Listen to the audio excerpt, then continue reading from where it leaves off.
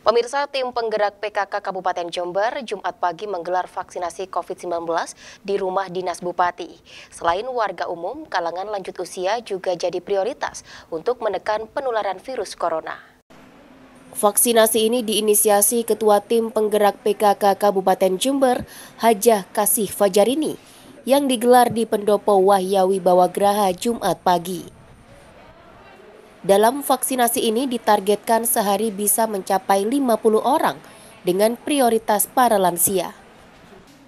Kegiatan ini juga sebagai bentuk percepatan vaksinasi kepada masyarakat Jember, mengingat pandemi dan angka positif COVID-19 yang masih cukup tinggi.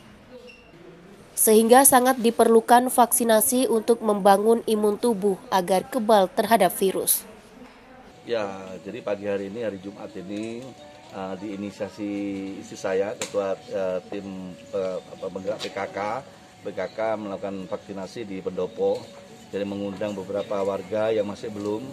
Jadi artinya kami dengan uh, melakukan semuanya semuanya PKK siapa pun itu akan melakukan gerakan untuk mengajak vaksin dan untuk uh, mensosialisasikan terus 5M prokes itu dan saat ini uh, Jember di seluruh kabupaten mana pun sedang kurang bagus.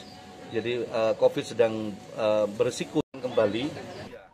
Seiring meningkatnya angka COVID di Jawa Timur, Bupati Jember menghimbau warga untuk selalu taat protokol kesehatan.